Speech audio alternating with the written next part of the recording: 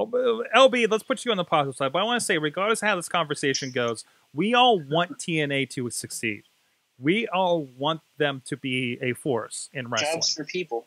We've, we've said this multiple And- times. and we this is also nothing against the performers No. because with No. what they're given, they try and make the best of it. Right. They do wonders. The only time I will get angry with a specific performer is maybe a little bit later in this discussion, and we will bring him up and call him out by name. We will, So- we will, we will. A certain friend of the show. um, but anyways, so so TNA Slammiversary happened. Global Force is coming up. I have my opinions on it, but first let's go with the positive spin. Antonio Garza, what are your thoughts on TNA Slammiversary and this interesting connection with the upstart uh, Glo- Global Force Wrestling with Jeff Jarrett? The, way I see it right now is that uh, TNA uh, needed something big to try and bring ratings in and try to get the name out there. Global Force Wrestling needs anything to get the name out there. So what I imagine happened here is that TNA went to several promotions like, hey, we kind of want to do an invasion angle. Uh, so hey, Ring of Honor, you want to do an invasion angle? No, we don't want to. And at the end, they went to Jeff Jarrett and say like, hey, let's come to a deal. So I, I think it's possible. I think it's something different that we've seen. Like I can't remember the last time we saw like a promotion to promotion invasion since the WCW WWF one. Um, hold on, didn't like don't Ring of Honor and New Japan cross over all the time? Yeah, that's not That's invasion. not really That's invasion. Yeah. yeah, I thought they had kind of an invasion thing. Nah. No, they just sent uh, their guys over. Okay. It's not like a war between them. Although it was So- called Global Wars. I, I was gonna say, I'm like, But no, I don't no, know, the, the wasn't. impression they gave off kind of seemed no, like it was a just little a, a trading of talent for for both the benefit of both worlds. Yeah.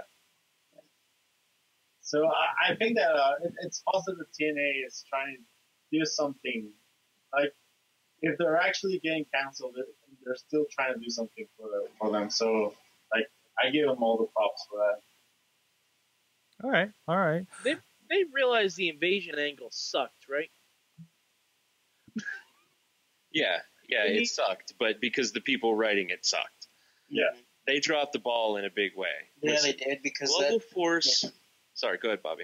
I was just gonna say the ECW's uh, turn during the invasion angle for WWE was amazing, and then they just, you know, but So, so Sorg, I'm on the positive side of this, right? I think so. Yes. Okay. All right. Here's the deal.